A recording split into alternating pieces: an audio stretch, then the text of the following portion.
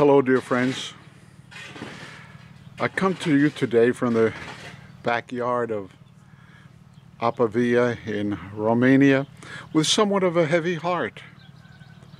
This morning, I learned of the passing of Dr. Myles Munroe and eight other people, his wife and two pilots and some other ministers.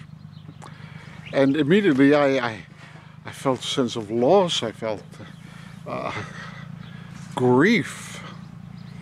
And uh, wondered how could we lose a, a, giant of a man of this caliber? And then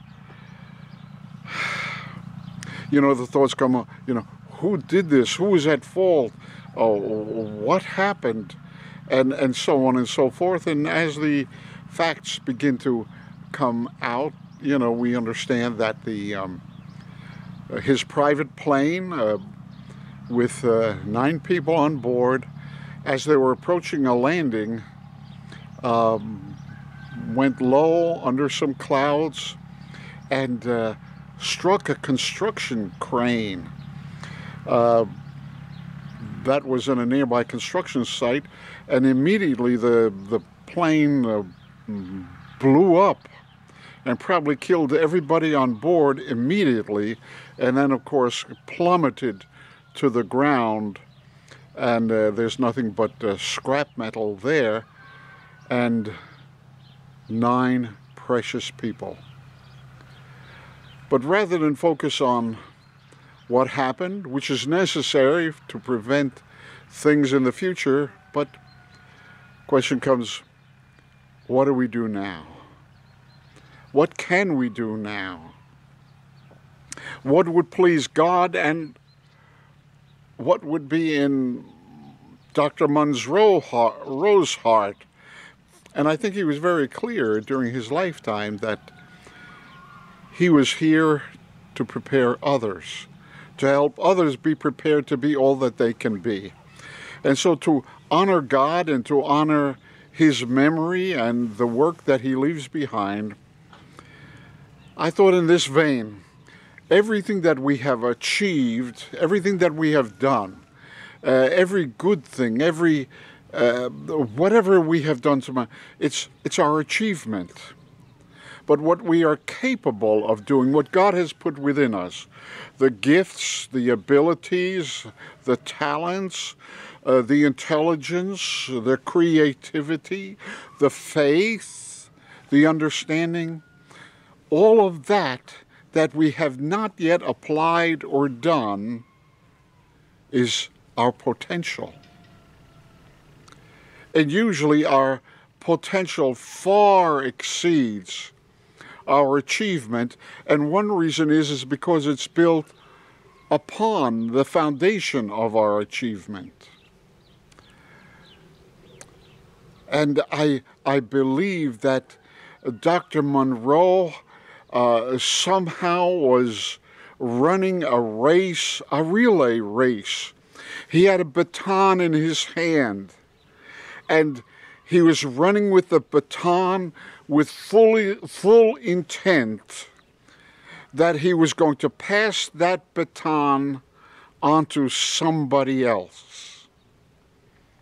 I'd like to extend my hand to reach that baton but I think he has more than one in his hand for each one of us to to be all that we can be. We don't have to be better than other people, but we can be all that God has put given us the potential to become inwardly in our unitedness to the Father through Jesus Christ by the Holy Spirit and also in our life's work.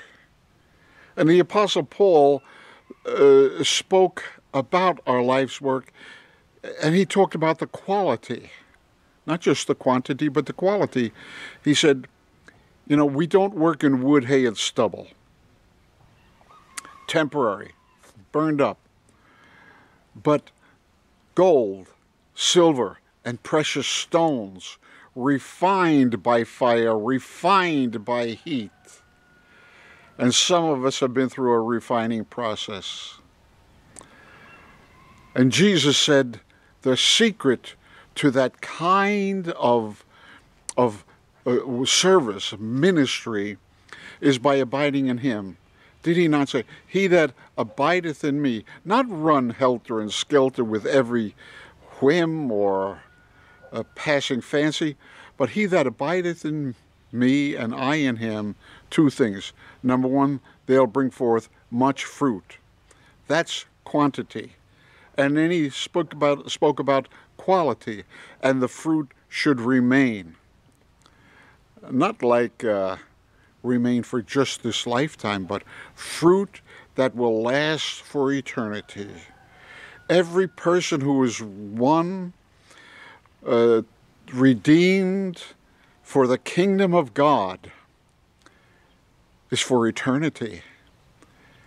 Everyone that turns their heart and their faith and their trust into Jesus Christ, whoever believes in me will not perish but have eternal life. That's quality work.